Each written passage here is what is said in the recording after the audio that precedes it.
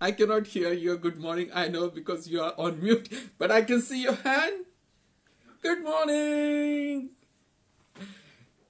So pleased to have you all. I completely agree with what Vaughn was saying that during these days of lockdown, when uh, we do feel that we are in our house and how difficult it is to reach out to the people, and when you especially have this heart to to reach out to the people with the gospel. And that was something literally i was thinking for several days last few weeks. And i was thinking what would be the best way to reach out to more number of people in our town uh, outside our town? I feel as if i'm limited to one place and i'm not able to go to my neighbors and speak to them about jesus.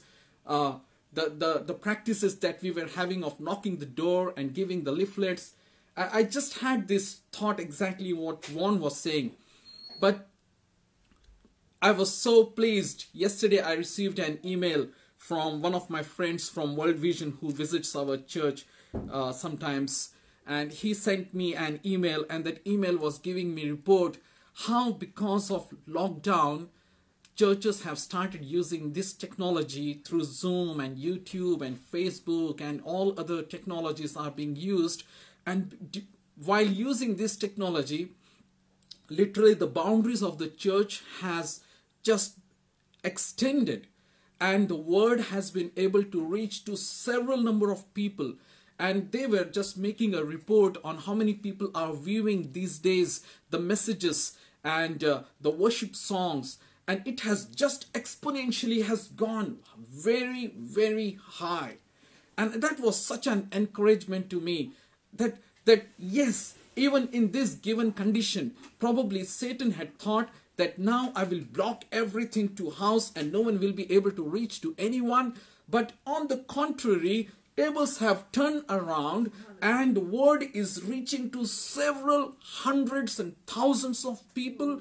There are reports, I mean, that was given, literally the numbers have been given to me. I'm not able to remember those numbers because those numbers are in five figures, six figures, wherein people have received Jesus for first time during lockdown amazing, isn't it?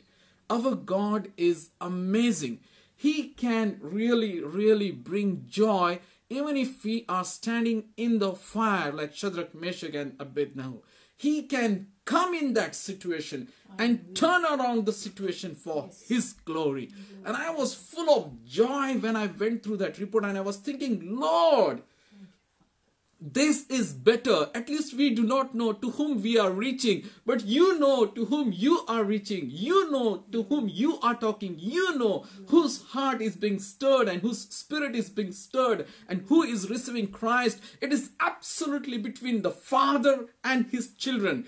The sources, you and I, the hands and legs, of Jesus. We just want to do what he has asked us to do and rest of the things he is doing everything. And that is so marvelous. And I was understanding this is how it should be. Instead of me knowing to how many people I am reaching and then feeling proud that to this many number of people I am preaching and this many number of people have received Christ, enough of that now, enough of that. It's only God who gets all the glory. And He is literally, believe me, the reports when I read, I was like, wow, this is great. This is great. Two days back, I was feeling, how long are we to have this lockdown? Now it is being said that we will go into level three and again we will not be able to gather together. Oh no, but this report just refreshed me and filled me with joy and I'm feeling like, come on God, let's do it. Let's save this whole world. Come on and whatever we are supposed to do, we will continue doing that. Amen. Oh, so I'm excited. I do not know the message that we are uh, having today. How many number of people are going to view that? How many number of people will be touched by that? I just want to believe that Holy Spirit is at work. And He is working marvelously. He is just using every technology, every ways to reach homes, to reach corners of the world. we physically probably were not able to reach to the uttermost parts of the world. But praise the Lord, God gave wisdom to man to take this technology to the uttermost parts of the world. And now he is using this same technology to take his word to the uttermost parts of the world. People who were scared to go to the church or to go to any open air meeting and hear about Jesus, but had that desire, had that thirst to hear about Jesus, to know about Jesus, they can easily access and come unto the Lord. And that is happening. So I was presuming probably there will be billions of hidden Christians by the end of lockdown. Amen. Billions. Amen. People who will be personally submitting themselves to Jesus without even their family members, without even their hostel mates, without even their friends and colleagues knowing, they themselves submitting themselves to Lord and saying, Yes, Jesus, I realize I need you. I need you, Lord. Please forgive my sins and make my child, make me your child. And that is what I am seeing in this lockdown. Yes, the time is for the growth. Time is for the harvest. Let's get into the word. Let us continue what we were saying last Sunday. And we had just started with this word. And we were reading from Deuteronomy chapter 8. And the verse that I had read for you last time was verse 7. Deuteronomy chapter 8 Verse 7, KJV says, For the Lord thy God bringeth thee into a good land, a land of brooks of water, of fountains, of depths that spring out of valleys and hills. Amen. So, dear brothers and sisters, we have been seeing last two Sundays how Bible speaks about how God was explaining the Israelites how the land of Canaan will be, the promised land will be. And we know for last several months, weeks and months, we have been seeing that God has promised and God expects that you and I as believers need not limit ourselves or keep ourselves satisfied by knowing Jesus in glimpses, in small types, but He wants us to reach to that land of rest. He expects us to reach to that position wherein we will be able to enjoy Jesus Christ in His fullness. Not just as someone who has saved us, not just as someone who has given us the Spirit, not just as someone who gives us the Word on daily basis, not just someone who gives us protection, different layers of protection, not just who calls us as priest, not just who gives us certain principles, not just who makes us part of the army, but he wants us to know Jesus in fullness. That is the matured level of knowing Christ. I like the way Paul says in Ephesians chapter 3 verse 8. Ephesians chapter 3 verse 8 reads Unto me, who am less than the least of all saints, in this grace given that I should preach among the Gentiles. This is the part that I love the most. The unsearchable riches of Christ. Paul was appointed being he calls himself the least of the saints but he says the grace has been given to me that I can preach among the Gentiles that is you and me the unsearchable riches of Christ the unsearchable riches and the things that we are seeing that is that is the part, you know, my dear brothers and sisters, that God wants you and I as believers to know about Jesus. The riches that are in our Jesus Christ.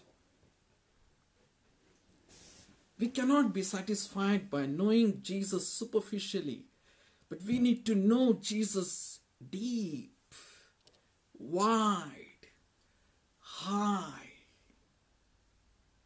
There are unsearchable riches. The more we go into the Word, the more we dive into the love of Jesus. Like Psalmist says, the deep calleth the deep. The more deep we would like to go. And the more deep we go, the more richness of Jesus we can experience. We can know. And that is something we are called for. When Paul says that he has been chosen by grace to preach that, now it's our time. It's your time. It's my time. Not only to know those riches, not only to, to dig those diamonds and those valuable stones, have them, but also distribute them to the world. The richness that is found in Jesus Christ. And how good, you know, in Old Testament, Jesus shows himself several times in verses. This is one of the one of the ways to know Jesus, the richness of Jesus. So last time we had seen about the good land. That's how God refers to this land. Good land. And he is talking about Jesus. And he goes on to explain how good this land is. And the first thing that we had seen under this goodness was this is spacious. You remember the word large, good and large. Our Jesus is large. He can cover everything and anything that you ask. The, the more risk you take, the, the more faith you extend, the more you are able to know Jesus. One who has experienced Jesus in a larger way will be able to speak about him in volumes. The second thing we had seen was he is ascending in the hills. He is the one who is ascended, surrounded by sea, which represents the death, but he is ascended one. That was something that we had seen last time. And then today we are seeing this verse which says, For the Lord thy God bringeth thee into a good land. Whenever this good land comes, oh, I feel excited. I am reading Deuteronomy and Leviticus and these books, and the moment it speaks about good land, I just stop there and I feel like, oh, there is something about Jesus. There is something about Jesus. Some richness about Jesus is coming up. And he goes on to say, a land of brooks of water. We are talking about springs, of fountains and depths. And then he says, that spring out of valleys and hills. So I'm dividing this part, this verse into two parts. One type of water, spring, fountain and depth, and sprints. And then second part we will see about valleys and hills. And I was telling you about the well last time. If you can come with me into John chapter 4, I hope probably most of you will remember this verse. John chapter 4, I'm reading verse 14. John chapter 4, I'm reading verse 14. 1 4 14 says, But whosoever drinketh of the water that I shall give him shall never thirst. But the water that I shall give him shall be in him a well of water springing up into everlasting life. Did you get the word well? And that's what I was talking last time. He's speaking about his spirit when he was speaking to lady from Samaria and he's telling her that whosoever drinketh of the water that I shall give him shall never thirst. But the water that I give him shall be in him like a well of water springing up into everlasting life. And here in Deuteronomy, he tells us the three stages. First, it starts with a spring. Spring is a life source from where continuously the water will be oozing, the water will be coming. That's the spring that we have in the well. And as this water gets collected, the collected water is the depths and the fountain. When this water overflows outside the well, it starts flowing in the form of streams in all the directions. And that is something that reaches in different farms and civilizations and, and fetches the need of the people. But it starts from this spring. My dear brothers and sisters, this is what this word is trying to teach us that you and I, when we are thirsty, when we are hungry for the Lord, when we want to know Him more for different reasons, maybe when we are in pain, when we are in trouble, when we are distressed, when we are depressed, when we are confused, or when we are happy, when we are joyful, and we are searching the Lord, and we, when we are hungry for the Lord, the Spirit of God starts giving us small revelations. He starts speaking to us from His Word. He starts speaking to us through His whispered words, small whispering words that comes in. But these words, they do not stop there. The words that we read from the word, they do not stop there. Although we read one single paragraph, but that paragraph keeps up, keeps on talking to us throughout the day, sometimes throughout the week. Sometimes when we hear some message, sometimes when we hear some song, it just settles down, deposits in depth of our heart, and it starts speaking to us throughout the day, throughout the week, sometimes for several months. And while speaking, we while that word is speaking to us we come across different references in the bible. We come across different talks with people. We come across different messages from videos or other speakers. We come across different songs which we feel is related to what we had heard. And that is so cool you know these experiences are so joyful. We just get excited. Oh, yes, this is what I was thinking about. Oh, yes, this is what Jesus spoke to me this morning. Oh, during my devotion, this was the word that was so, so touching to me. And I see this song is absolutely in line with that. I hear this man speaking absolutely in line with that. Oh, that is the spring that is just flowing, flowing, and it just keeps on growing.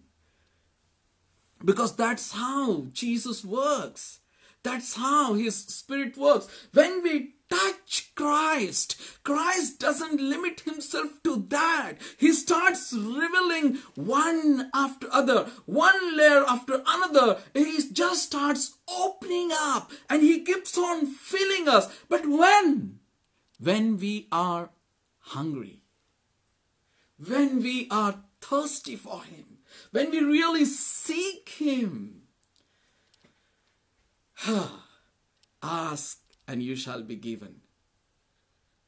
Ask and you shall be given. Seek and you shall find. Knock and it shall be opened. For what? For the love of Jesus. When we have that, see, asking some physical thing, if we take this word in reference to physical things, we will limit Jesus to very small things. But when we seek Jesus Himself, Lord, I know, I want to know you.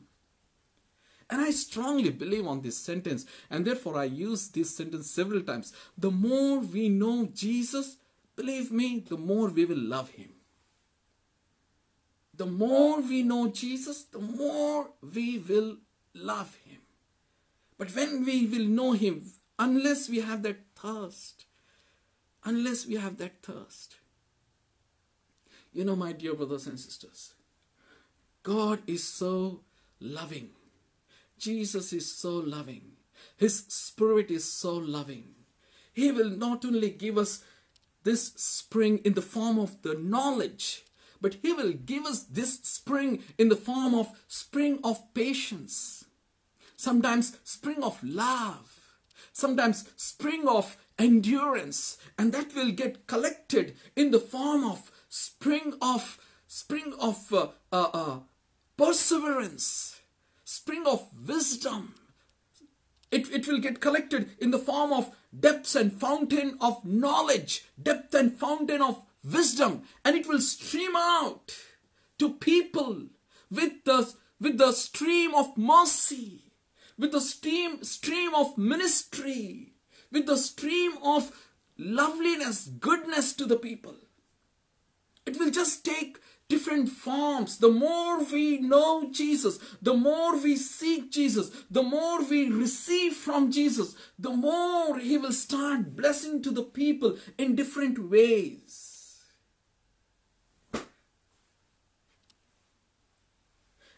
I, I sometimes feel instead of asking Jesus Fill me with your power. Fill me with your power. It is better to ask Him, Fill me with yourself. Fill me with yourself. Because if we have Jesus, we have everything. We have everything.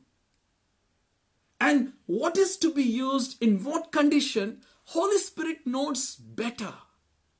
When He should use the gift of wisdom, when he should use the gift of understanding, when he should use the gift of miracle, when he should use the gift of prophecy. He knows.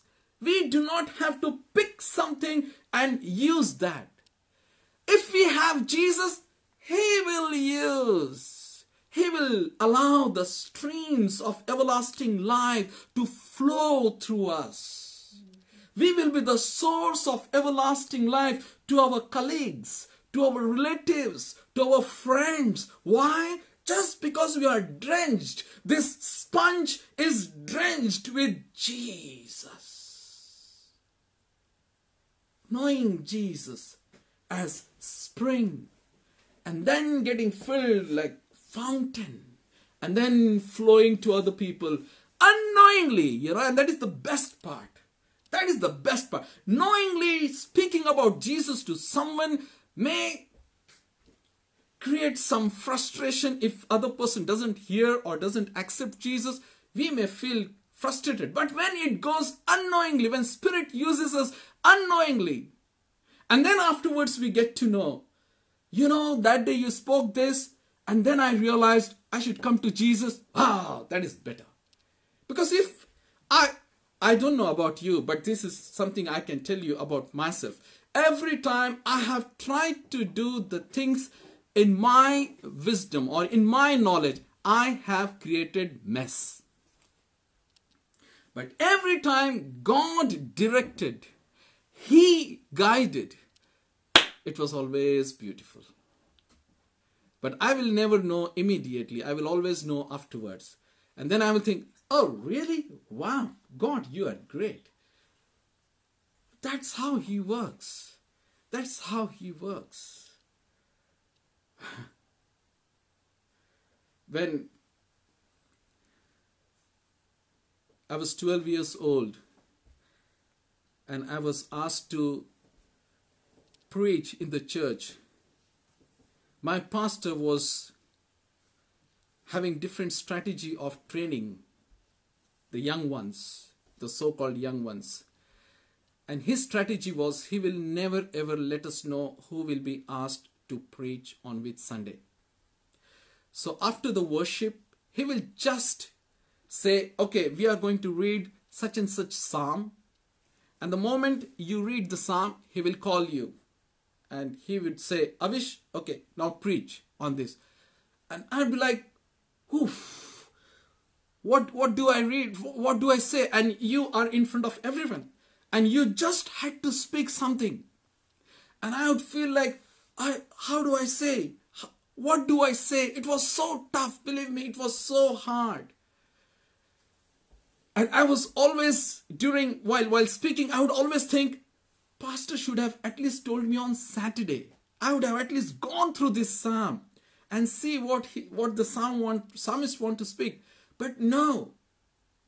And I would always fear like How can you preach? How can you preach?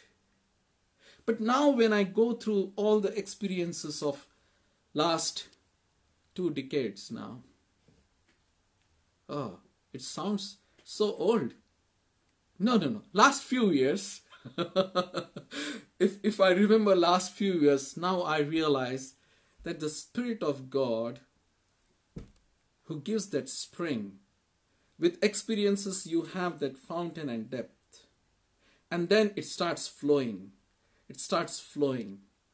And you will never finish off with speaking about jesus because that spring is life spring. You cannot finish speaking about this book in this life. Not possible you keep on speaking, speaking, speaking. The more, this is my experience, the more I speak, if God has given me something, the day I speak, I, next time I read, I get something new. Till the time I do not speak about that revelation, I will not be able to receive the new one. Now, today, when I am speaking about this verse to you, I'm sure in this week I will get something new. And that will just keep on flowing and flowing and flowing. And next time we meet again, we I will keep on speaking. The stream will never stop. He is alive. Let us go to that spring. Let us keep that spring alive. Let us keep touching that spring, Jesus. He will release you can contain as depth and fountain. And there will be a moment when it will start overflowing. I like one of the speaker when he said whenever god gives you a message he will surely give you audience. He will surely give you audience. So do not worry. When god speaks to you he will provide audience in front of you. And that is so cool. That is so, so neat. And this is the first part. And let us come to the second part. He goes on to say that spring out of valleys and hills. Valleys and hills. What are these valleys and hills? Okay, let me help you come to Second Corinthians.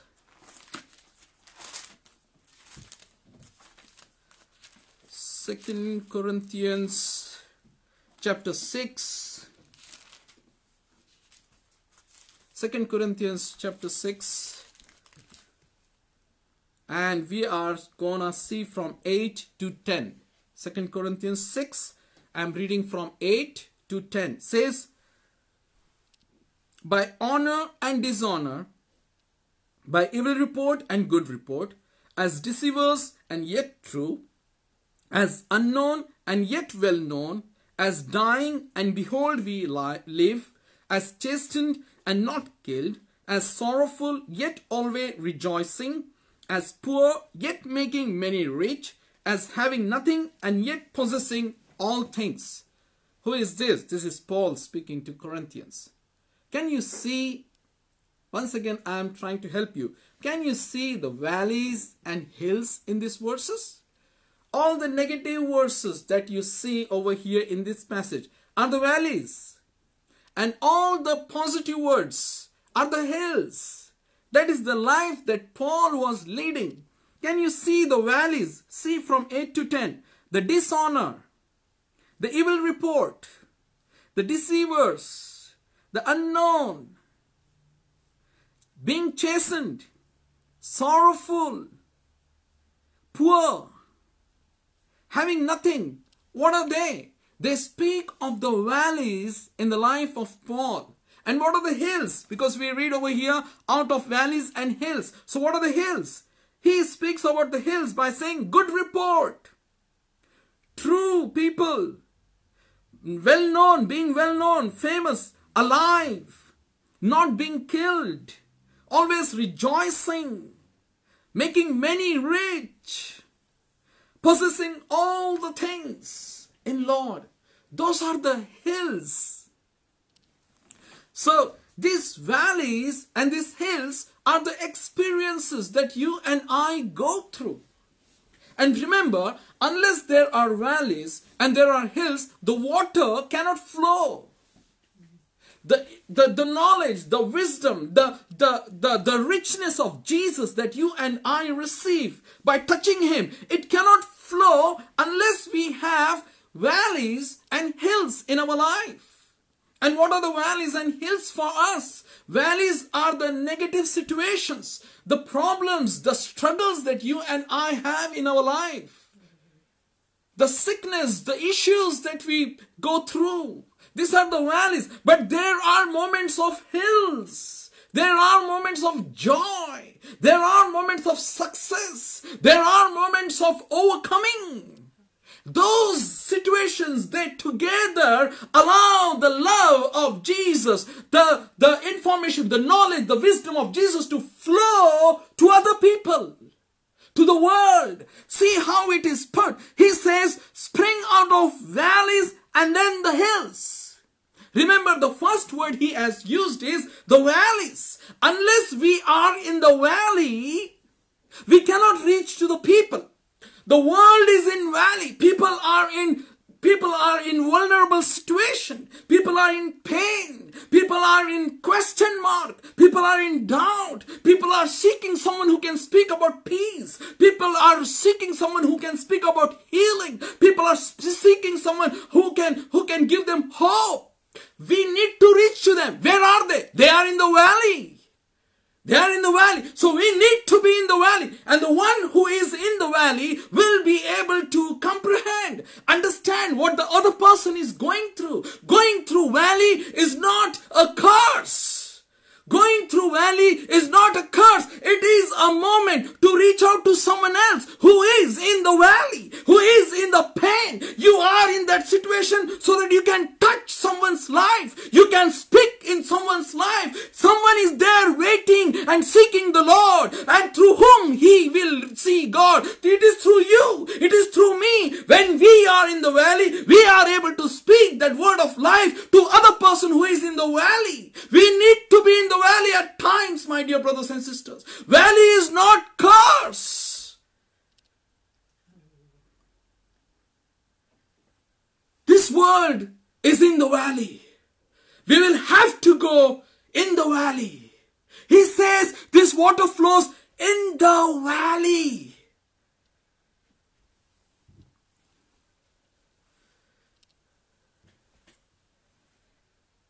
When we are in pain, when we are in struggle, the hope that we have enables us to stand strong. But what about other person who doesn't have that hope, but he is in similar situation? We can share that hope with him. We can share that peace with him. We can share that love with him and say, it's okay. But hello, I have someone whom I can share it with you and you will receive same hope and he is Jesus. He is Jesus.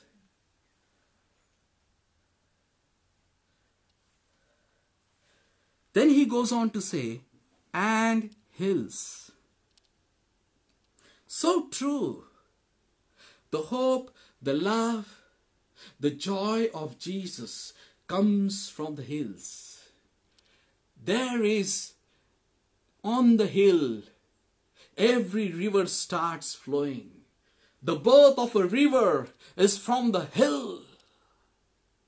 You need to go to the hill. If you search him, he will be there. The spring is there. The source, the starting point is there. You need to reach out to the hill. I, I do not know about New Zealand rivers, but I can speak about Indian rivers. I know most of the rivers in India, they take birth from Himalayas. We have lots of glaciers over there from where several huge big rivers they start from there and they end either in Bay of Bengal or Indian Ocean. Huge rivers, big rivers, Ganges and Brahmaputra and several other rivers. They start from those glaciers. Where are these glaciers? In the hill, in the high mountain. If you want to search Jesus, you need to go in the private place. In the private place. If you can come with me in Philippians chapter 4, please.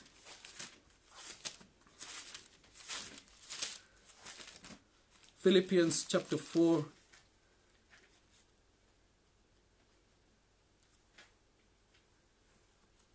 I'm reading verse 11 and 12. Philippians chapter 4, verse 11 and 12 says, Not that I speak in respect of want, for I have learned. What is the word? I have learned in whatsoever state I am, therewith to be content. I know both how to be abased and I know how to abound. Everywhere and in all things I am instructed both to be full and to be hungry, both to abound and to suffer need. Allow me to read 13th verse also because it's so, so strong and powerful. I can do all things through Christ which strengtheneth me. When I am in the valley, I am, I am learning, I am taught. That's how he says, I have learned. With experience, we need to learn. What do we need to learn? How to be abased. I know, I know how to be abound and how to be full and to be hungry, abound and suffer. And from where do we learn this? We learn this from Christ. By going through valleys, we, we learn this from Christ. And this Christ, when we move, when we search for the source, the source is hidden over there. We need to reach out to these hills. We need to reach out to these hills. My dear brothers and sisters, our life needs to be full of valleys and hills. The more valleys and hills will be there, the more water will be able to flow and when water flows, that will be available for civilizations, for the world. I cannot say that I would like to be in a plain area. My dear brothers and sisters, we will not be available to anyone. We need to receive the richness. When the river flows from the hill, it carries all the nutrients and all the fertile soil from the mountains and brings it to the valley, and therefore the valley becomes fertile. It's the soil that river is bringing, and therefore you will find most of the civilizations getting settled down along the rivers.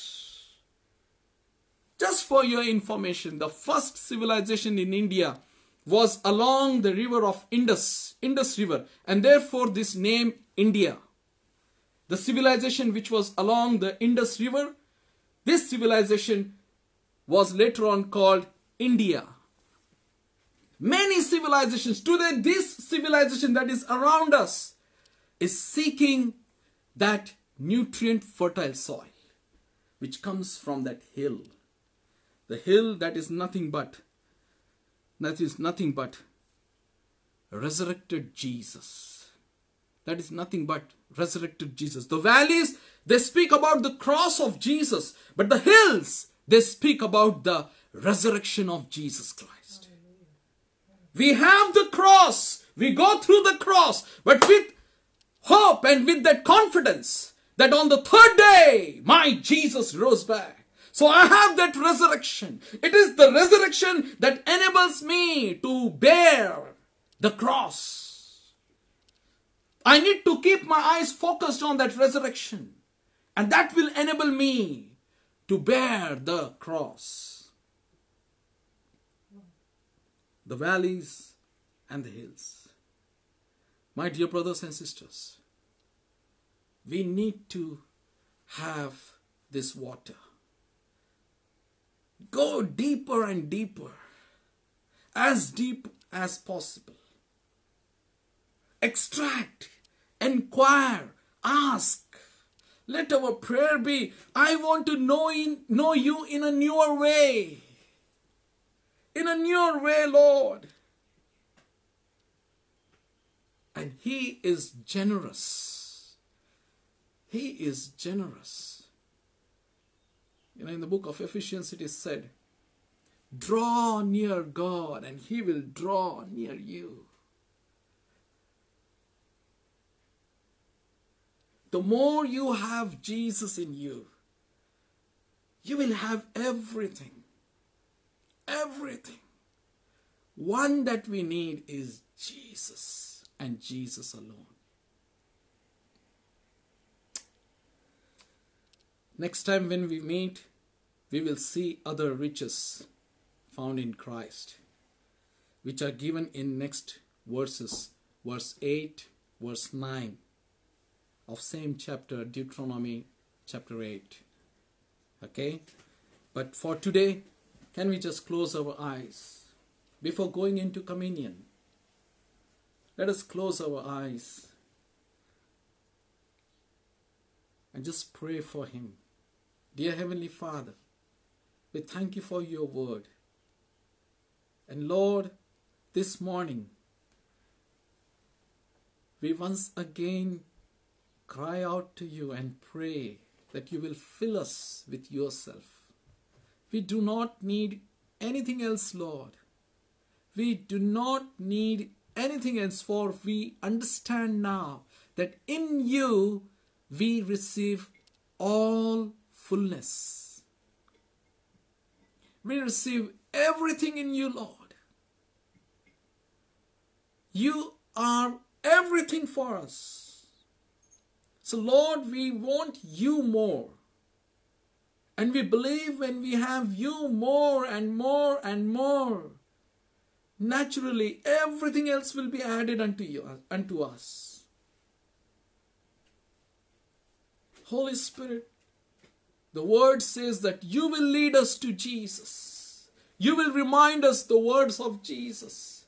You will help us to pray. So we come unto you and we pray Reveal us Jesus. Allow us to know the richness, unsearchable richness of Jesus Christ. In Jesus' name we pray. Amen. Amen. And now, if you are ready with the, the bread and wine or juice, my family is ready here and we are ready with the bread and juice. Just before going into this, may I take this opportunity to remind you that this bread represents the body of Jesus, the body that was broken for you and for me. And the breaking of his body has healed our bodies has allowed us to become God's children. The wine, the juice that we have, it represents the blood of Jesus that was shed for you and for me. And this blood of Jesus, which was shed on the cross, has actually cleansed us from all our sins. He cleansed us, He washed us and made us as white as snow. Even today, when anyone calls unto him, his blood is faithful to cleanse our sins. Yes, he is. Let us take this moment to remember the cross of Jesus, the cross that he bore for you and for me, my dear brother the cross, because of which we have received the righteousness of God. The same cross on which we are died. We are with Jesus on that cross and we are no more who we used to be, but we are new creature in Him. the cup of wine, when Jesus gave that to his disciples, he said, This is the sign of new covenant. New covenant for you and for me. When we drink this, we not only receive that new covenant, but we also remember his cross and we testify to the world that we believe that Jesus died for us and he rose on third day for us. And he is coming soon. He is coming soon.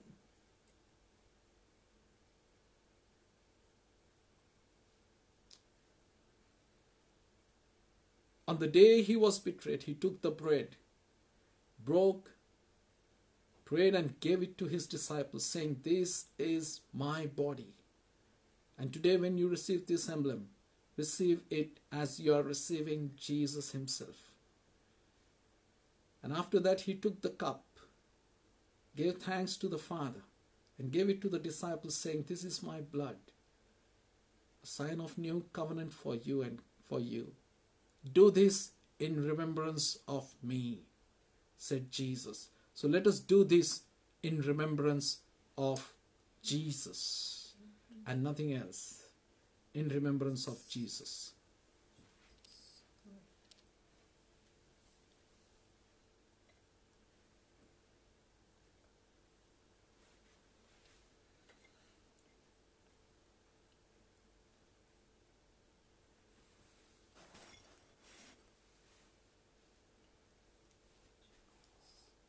Shall we have it together?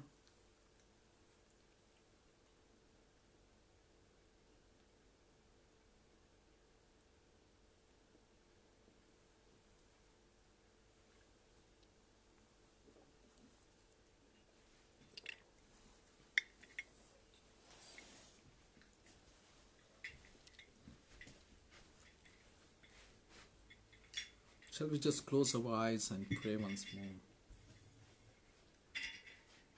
Dear Heavenly Father, we thank you for your love. We thank you, Jesus, for what you did for us. We not only remember that, but we want to confess that we stand as testimony to the world for the hope that you gave us, for the everlasting life that you gave us, Father. So every opportunity that you provide, Lord, we, we want to stand as testimony in every opportunity for our brothers and sisters outside in the world. Lord, we want to stand as hope for them. We want to stand as source of peace for them. We want to stand as word for them, Lord so that they will be able to receive what we have received in you, Lord. And we specially pray for our relatives who do not know you, our friends and colleagues who do not know you, who do not know or have tasted your love. We pray for them earnestly, Father, and we pray that there will be a time when they will be able to know you and receive you and receive the joy that we have received, Lord. We pray for our neighbors who have not tasted you, who have not known you. Lord, we pray in your grace, let they be able to receive you, Father. We pray for people in other countries who are going through pain, who are going through pain because they are, they are losing their loved ones, Father. And most of them are questioning what is the answer? Heavenly Father, in your grace, Lord, let they be able to see you. Let they be able to see you and see the love that you have for everyone. For your word says you do not want even one single soul to be destroyed. Lord, let your peace, let your peace come, Father. Yes, Holy Spirit. We pray for our dear brothers and sisters in our congregation, Lord. If there is anyone who is sick, let they be healed in your mighty name, Father. Amen. In the name of Jesus, they be healed. We speak healing for them. If there is someone who is going through depression or any emotional issue, Holy Spirit, whisper your word of peace to them. Whisper your word of counsel to them, Lord. Let they be strengthened, O Father. Lord, I pray for people who have lost their jobs. Father, open new door for them, O Lord. Open new door. We pray for all dear brothers and sisters who are in essential work services, putting themselves into risk. Father, we thank you for the faith. We thank you for the strength that they have in you, Lord. They being able to serve and minister to other people, O Lord. Strengthen them, Father God. Strengthen them, O Lord. Protect them and help their families as well, O Lord. We thank you for your grace, Jesus. We pray for every single child. Lord, probably they may not be able to understand what is going on in the world. But we pray, Father, that your Spirit will speak to them. And in a new way, they will be able to receive the unsearchable riches of you, Jesus Christ. They will be strengthened emotionally. They will be able to see you in a new way, in a better way than we see you, Lord. Have mercy, Father. We remember our elders. We remember our deacons. We remember all the elderlies of the families. Lord, let your grace be over everyone, Father. We thank you once again for this opportunity that we could fulfill your righteousness. We could remember your cross. We glorify you, Lord. In Jesus' mighty name we pray. Amen. Amen. Amen. God bless you.